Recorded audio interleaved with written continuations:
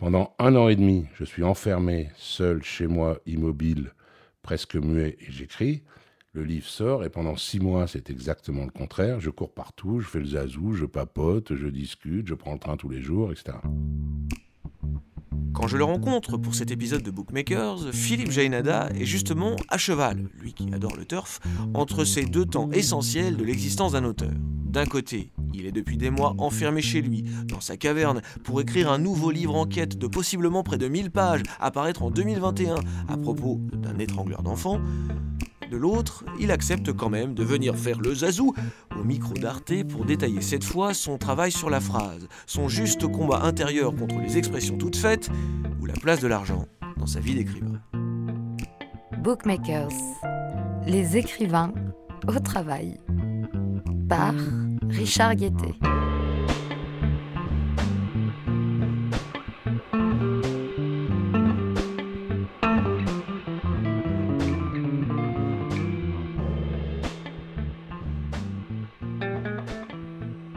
Écrire La Petite Femelle, Philippe Jainada passait l'épineuse et gargantuesque question de la documentation que nous avons traitée.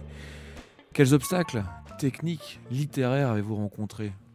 Je dois réfléchir à la narration, la construction, chronologique ou pas, quel ton, euh, où je place le narrateur, c'est-à-dire moi? Je me mets comme un type qui observe la vie de Pauline Dubuisson, 50 ans plus tard, 60 ans plus tard, avec bienveillance. C'est tout ce que je le dis, je crois que c'est dans la première ou la deuxième page, je dis il faut que je, je l'observe comme un chercheur qui, qui regarde au microscope, sans juger, sans commenter, euh, de manière bienveillante. Combien de temps est-ce que vous passez à travailler la phrase, le rythme d'une phrase, même le poids d'une phrase? Plus c'est une phrase simple, ordinaire, plus j'ai l'impression d'écrire euh, comme ma, ma mère pour écrire la même chose. Donc évidemment, euh, j'essaye de trouver des moyens de raconter, euh, je sais pas, quelqu'un qui ouvre une porte, si je dis euh, il ouvrit la porte et pénétra dans la pièce, il y a quelque chose qui, me- gêne, j'ai envie de d'ajouter quelque chose, sinon je me dis je, je sers à rien. Je viens de recevoir un livre que, que m'a envoyé, ça commence par euh, c'était la goutte qui a fait déborder le vase. Bon, moi si j'écris ça et encore une fois en toute modestie, hein, en toute humilité, je me dis non ça va pas, il faut que je trouve quelque chose de donc voilà, je, je peux passer, euh, mais en général, euh, je je suis pas du genre à. Il y a des auteurs, on, on entend parfois des auteurs qui disent oui, je suis capable de rester 8 heures sur le même mot. C'est le je- modèle Flaubert, hein, c'était trois mois sur, euh, sur un paragraphe. Oui, mais bon, moi, je, je- j'y crois pas vraiment. Enfin, je trouve que c'est une, une- une posture, en fait, plutôt. Une, je suis pas sûr que Flaubert passait trois mois sur un paragraphe. Et alors d'autres auteurs contemporains non plus. Donc, euh, non, en général, si euh, en deux heures, j'arrive pas à écrire une phrase, je m'inquiète, quoi. Je, faut pas faire comme si on était vraiment des, des, orfèvres ou si l'inspiration allait nous foudroyer, etc. Si au bout de, de, de deux heures, j'arrive pas à écrire le paragraphe, je le vire, je, je le fais plus, quoi. J'écris, je remonte de quelques lignes, c'est plutôt en rouleau. C'est dans la journée elle-même, dans l'écriture elle-même, j'écris une phrase, je vois comment elle s'équilibre avec celle d'avant, je modifie un peu celle d'avant, ou deux, trois phrases plus haut pour faire le, le paragraphe. C'est-à-dire que j'écris pas une ligne après l'autre, j'ai une sorte de, de marge, de, de, disons, d'un paragraphe. Ça doit se travailler à l'intérieur d'un paragraphe, où je reviens sans cesse en roulant sur la phrase d'avant et en avançant celle d'après, etc., jusqu'à ce que mon paragraphe tienne. Moi, mon unité de base, c'est le paragraphe. Ou évidemment, s'il m'arrive de faire un paragraphe de 8 pages, donc là, non, il y a des, sous-unités, enfin des sous, des sous-sections à l'intérieur, mais grosso modo, moi, quand je termine un paragraphe, que je vais à la ligne, je relis le paragraphe que je viens d'écrire. S'il me paraît stable, je passe au suivant et je reviens plus jamais, mais, enfin jamais, une fois que le livre est terminé, mais c'est-à-dire que le lendemain, quand je commence le matin, je relis pas ce que j'ai écrit la veille. Rien, même pas la, la dernière phrase. Si, je relis euh, la dernière phrase, les deux dernières phrases pour savoir à peu près où j'en suis. Mais étant donné que la veille, j'ai estimé que le- ce dernier paragraphe que j'ai écrit était bon, si jamais je me mets le matin à relire les quatre pages que j'ai écrites la veille, je vais, je vais passer cinq heures dessus. Et je... Donc je me fais confiance. Je me dis, hier, tu pensais que ces quatre pages ou cinq pages étaient bonnes. Tu n'étais pas plus abruti qu'aujourd'hui, a priori, espérons. Donc, il faut pas revenir dessus. Et je, lis la fin pour que ça, ça s'enchaîne bien, que ça s'équilibre, qu'il y ait un bon rythme. Je lis les derniers mots, les dernières phrases. Moi, j'essaye, j'arrive euh, mentalement d'imaginer que ce que j'ai écrit, là, j'en suis sur mon prochain livre, j'en suis à, je à plus de 500 pages et ça fait six mois d'écriture. D'imaginer que je n'y ai plus accès. Que on me redonnera accès à tout ça une fois que j'aurai terminé pour que je puisse lire et corriger et, tout ça.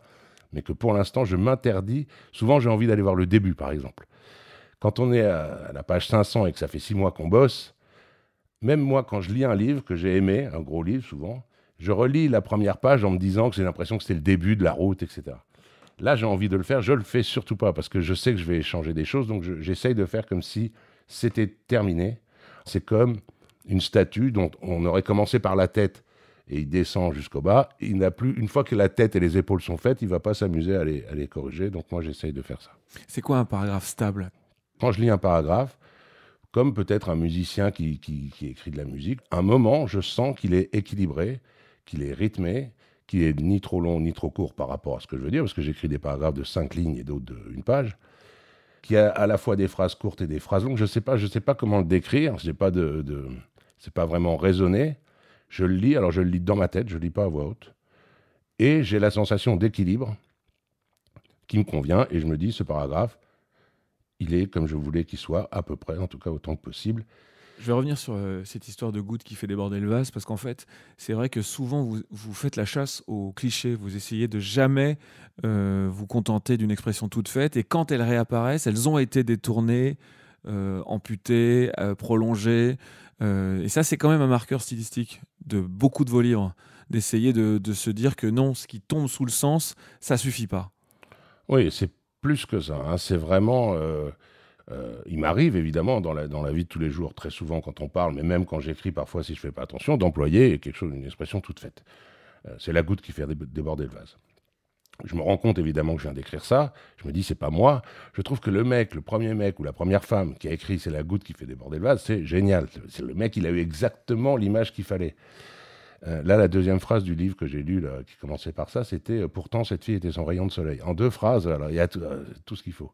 Tout ce qu'il faut pas. Qu'il faut pas. voilà, pareil, je pourrais écrire Ah, j'aime beaucoup voir ma sœur, c'est mon rayon de soleil. Là, tout de suite, je me dis Mais non, je n'ai pas le droit de faire ça. Je vole à quelqu'un d'autre. Une image. Je, vole une image que quelqu'un a trouvée, comme si je, je, volais des séquences musicales, ce qui doit se faire d'ailleurs dans la musique, mais bon. Euh, d'une part, je me, dis ça, mais bon, c'est quelqu'un qui est mort depuis trois siècles sans doute, donc euh, c'est pas grave. Mais surtout, je me dis, le seul intérêt d'écrire un livre ou de, faire n'importe quelle création artistique, c'est de le faire à sa manière, à soi. C'est-à-dire, sinon, c'est de l'industrie, c'est du, je sais pas, ou alors c'est autre chose. Je j'ai rien contre les livres qui sont purement commerciaux, mais c'est pas la même chose. Moi, j'ai la vanité, peut-être, de vouloir euh, raconter une histoire avec ma voix. Donc, si j'emprunte cinq mots, c'est la goutte qui fait déborder le vase, ou six mots, je sais pas, à quelqu'un d'autre, c'est pas moi. C'est-à-dire vraiment n'importe qui d'autre aurait pu l'écrire. Alors c'est peut-être par vanité, j'en sais rien. Et puis moi, c'est quelque chose qui me heurte quand je lis. Enfin vraiment, ça m'énerve. J'ai envie de, téléphoner euh, à l'auteur et de lui dire, t'aurais pas pu chercher dix secondes une autre manière de dire ça. Peut-être que pour d'autres lecteurs, c'est pas gênant du tout. Hein. Moi, moi, je, je n'arrive pas à lire des. Ça m'énerve et ça me fatigue et ça me lasse. Mais peut-être que pour d'autres, comme il y a des gens, ça ne leur dérange pas de manger euh, la nourriture sous vide euh, ou des sauces préparées dans les restaurants, des choses comme ça. Bon, euh, moi j'ai une vision très artisanale et personnelle de l'écriture. Je veux que quelqu'un me parle.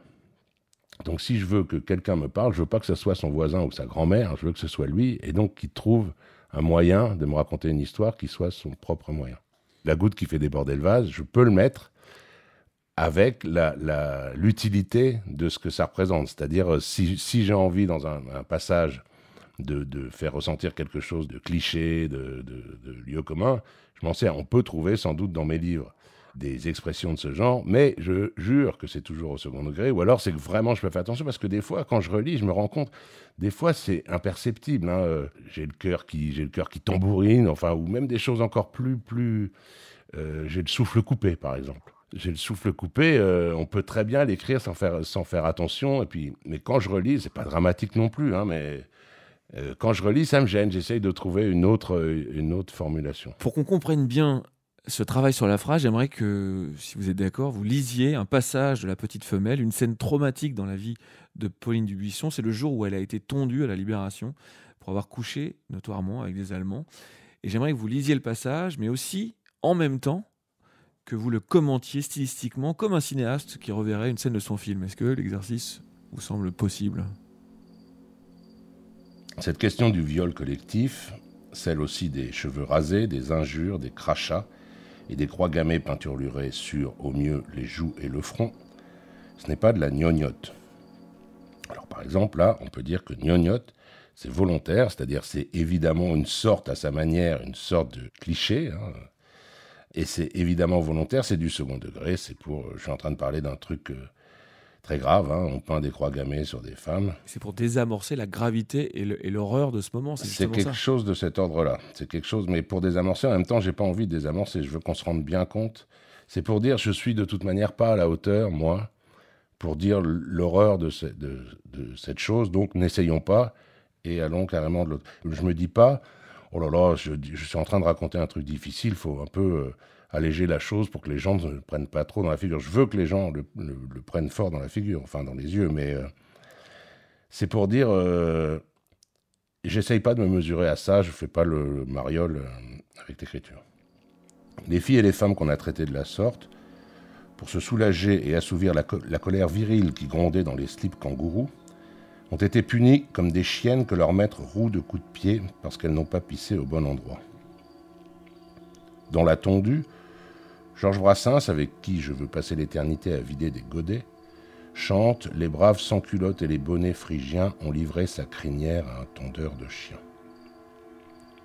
La plupart n'ont pu que subir sans moufter, comme les chiens. Moufter, là, c'est exactement du même ordre que gnognotte. Mais Pauline, je l'ai déjà dit, était plutôt du côté des chats. Et pas une seule n'en est sortie indemne sans marque à vie à l'intérieur. Lucette, ma copine du bistrot d'en bas, en a vu plusieurs se faire traîner à moitié nus dans les rues du côté de La Rochelle, frappés et humiliés par des petits bonshommes sans envergure qui avaient serré les fesses pendant toute la guerre. L'un d'eux avait même dénoncé et livré à ses clones une jeune femme qui n'avait rien fait d'autre que de repousser ses avances deux ans plus tôt. Insultés au passage par des mégères gorgées de bile, jalouses de leur jeunesse ou de leur beauté, propulsés sur une estrade et tondus sous les rires et les hurrahs des frustrés en liesse, par des coiffeurs improvisés qui se rengorgeaient et n'oublieraient jamais ce sommet glorieux de leur existence. Soixante-dix ans plus tard, alors qu'elles sont pratiquement toutes mortes, elle en parle avec le front plissé et les mains tremblantes, Lucette. Son malaise est accentué par le fait que ces dégueulasseries sont chronologiquement associées dans sa mémoire à une sensation de grande joie, de liberté longtemps attendue, qu'elles entachent. Lucette, elle me remplace un peu là-dedans. C'est-à-dire que c'est elle qui devient l'observatrice, la spectatrice, la, commentatrice de ces scènes-là, puisque moi, comme je dis avec gnognotte et moufté, etc., euh, je suis pas à la hauteur pour commenter ça. Si on a un tout petit peu d'essence, on n'essaye pas, avec euh, des scènes pareilles, de faire de la beauté, de faire de l'art, euh, et de se dire, je vais apporter ma touche de douleur et de, de véracité à ces scènes, c'est pas, pas la peine. Ça ne rentre pas dans, le cadre. Moi, quand je, quand je disais tout à l'heure, j'essaye d'apporter, en n'employant pas d'expression toute faite, etc., j'essaye d'apporter euh, ma voix, mon ton, mon regard à certaines choses. C'est pour les rendre plus fortes. Le type qui ouvre la porte, qui rentre dans la pièce, euh, il faut que j'essaye de, faire sentir une ambiance. Je ne vais pas avoir la prétention de dire que je peux ajouter. Euh, de la force, de la profondeur, de la tristesse ou de la douleur à ces scènes-là. Donc moi, je me mets là euh, humblement à l'écart et j'écris simplement le plus, alors pas le plus simplement possible, parce que c'est vrai que là, je vois, je fais quand même, ce sont des longues phrases avec des mots, euh, des mots un peu forts, un peu violents.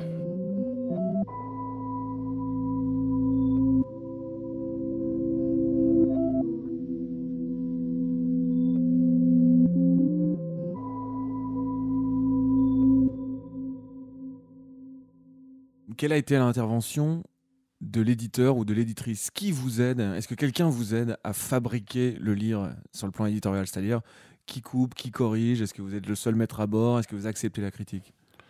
Non. Grosso modo, je suis le seul maître à bord, C'est-à-dire que, hormis ma femme, qui vraiment, ma femme me dit tu enlèves ça, euh, tu rallonges ça, etc. Et à part ça, je n'écoute absolument rien ni personne. C'est-à-dire qu'évidemment, mon éditeur, que j'aime, euh, il me dit je trouve que le, passage dans Pauline Dubuisson, le passage sur la guerre est beaucoup trop long. Elle n'apparaît pas, elle, il y a 80 pages sur la guerre euh, à Dunkerque. Je l'écoute, je réfléchis, mais euh, je change pas. Ou par exemple, ça peut arriver que je change aussi. Il y avait, euh, je remontais sur ses, arrière-grand-tantes, Apolline Dubuisson, je racontais leur vie, il m'a dit là vraiment, et je me suis dit, il a raison, et donc voilà.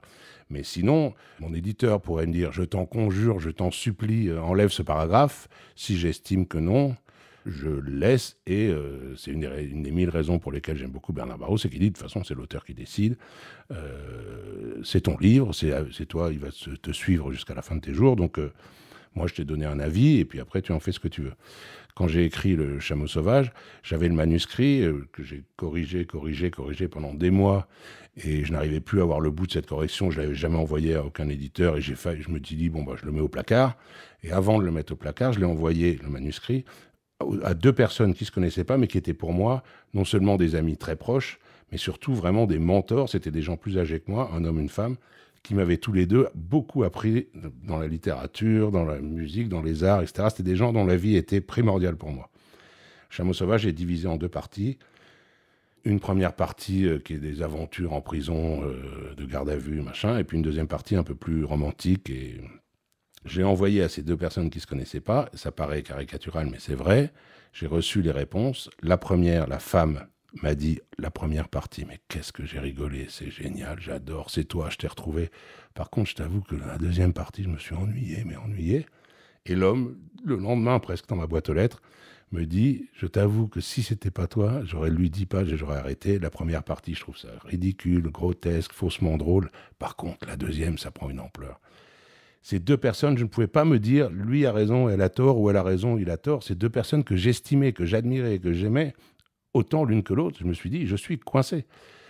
Soit je pense que tout mon livre est nul, soit que tout mon livre est génial, mais euh, il se trompe sur une partie. Enfin bon. Et donc à partir de là, je me suis dit, je n'écoute plus jamais personne. L'écrivain que j'admire le plus au monde peut venir me voir et me donner un conseil, je ne l'écouterai pas.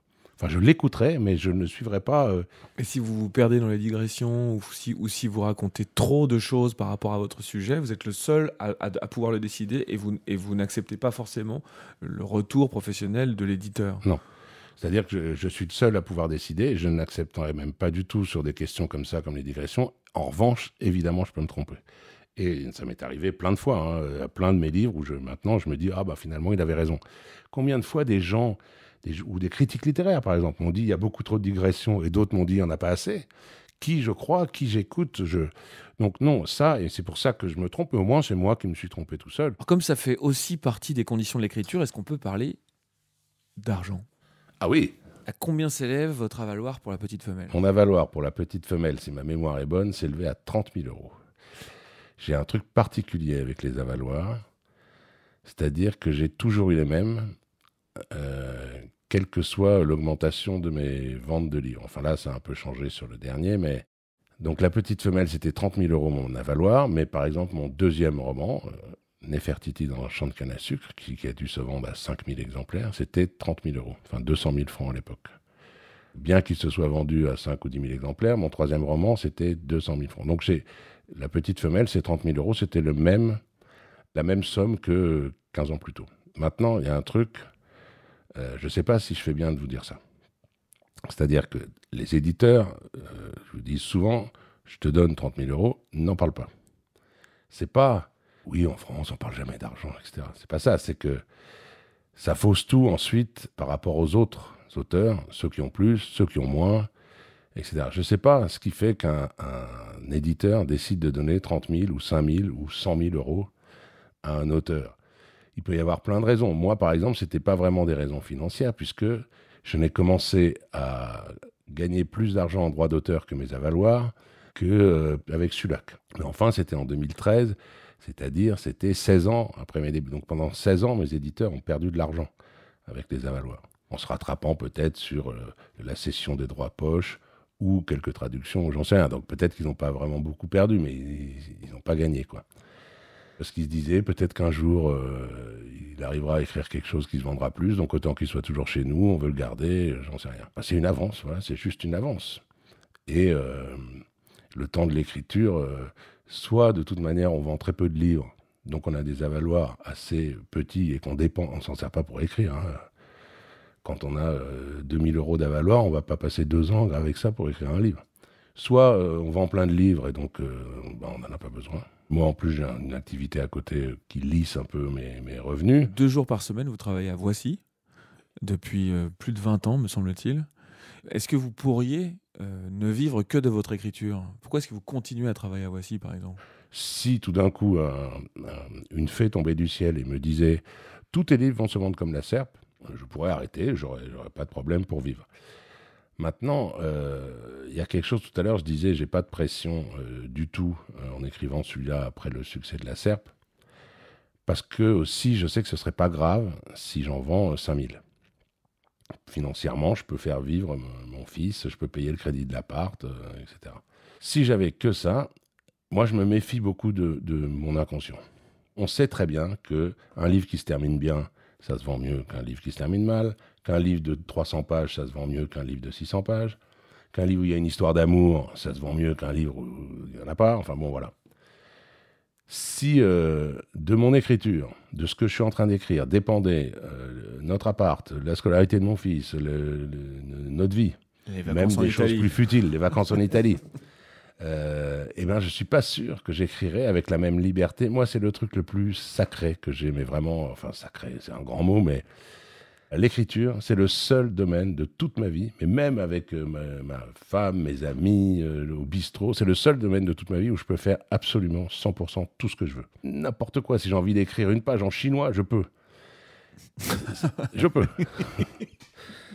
Ça m'est très précieux, mais vraiment, ça m'est très précieux. C'est une sensation de, c'est une ivresse de liberté absolue. Après, euh, les- si j'écris une page en chinois, euh, ça va pas plaire aux gens. euh. là, je viens de lire un livre. Sauf aux vos lecteurs chinois, mais bon, après, c'est Sauf question. lecteurs chinois, Ouais. mais évidemment, j'en ai peu. Euh, je viens de lire un livre de Lydie Salver, celui qui a eu le prix Goncourt, que- qui traînait chez moi depuis des années, et là, je viens de le lire, qui est euh, formidable. Il y a plein de passages en espagnol dedans, des phrases en espagnol, parce que ça parle de sa mère qui était espagnole. Euh, moi, je parle un tout petit peu espagnol, mais il y en a plein que je n'ai pas compris. Je suis allé voir, euh, par curiosité, sur Amazon ou des choses comme ça, les critiques. Il y a plein de gens qui, sont scanda- qui demandent le remboursement du livre. Euh, à un moment, il y a deux phrases de suite, on ne comprend pas. Moi, j'achète un livre, je, suis censé comprendre. Si la littérature française s'écrit en espagnol, bah, je n'ai pas bien compris. Alors, bon. Les gens sont furieux, mais furieux. Tant pis, elle s'en fout. Elle voulait mettre en espagnol, elle a le droit de mettre en espagnol, elle s'en fout. Maintenant, consciemment, jamais je dirais bon, allez, j'ai arrêté voici, euh, il faut qu'on parte en Italie, donc euh, je vais mettre une belle histoire d'amour entre une, une jeune femme pauvre et un, très beau, euh, très bel héritier. Je dirais jamais ça. Inconsciemment, moi j'aurais peur de moi-même. il y a une partie de moi qui saura qu'il faut que mon livre se vende. C'est vital pour moi qu'il faut qu'il se vende à, disons, 50 000 exemplaires. Et je, je- pense que je perdrais la liberté absolue. Je connais des gens, hein, je ne citerai pas, mais je remarque des gens qui ne font que ça. Il y en a peu, hein, mais il y en a quand même, qui se décalent peu à peu vers des livres de plus en plus consensuels, ou des livres de plus en plus sentimentaux, ou des choses comme ça, sans doute sans s'en rendre compte. hein. Euh, Peut-être que pour avoir une liberté totale, il ne faut pas qu'il y ait d'argent en jeu. Mais l'un des dangers qui guette euh, n'importe quel écrivain accompli, c'est justement de toujours commettre, si j'ose dire, le même livre. Au bout d'un moment, euh, c'est un cliché, mais il se trouve qu'il il peut se prouver, ce cliché-là. Est-ce que vous, vous avez peur de ça? Comment est-ce que vous, vous pouvez euh, essayer de pas tomber dans ce travers-là, de refaire toujours le même livre? C'est pas du tout un travers. J'ai pas du tout peur de ça parce que, au contraire, je trouve qu'il faut refaire toujours le même livre.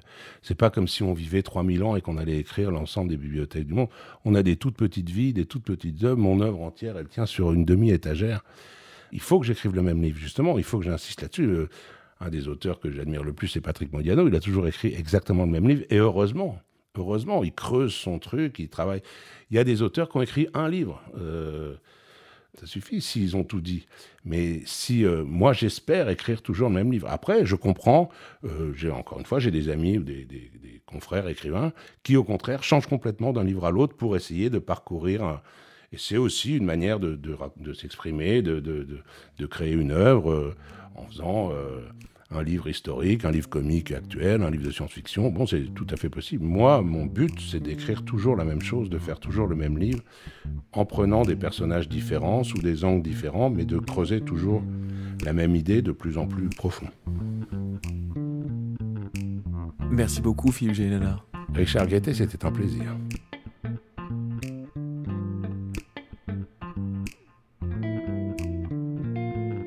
Le prochain numéro de Bookmaker sera disponible le mois prochain sur arteradio.com ou votre application de podcast préférée. Mon invité sera Ali Zeniter qui évoquera les coulisses de son roman L'art de perdre.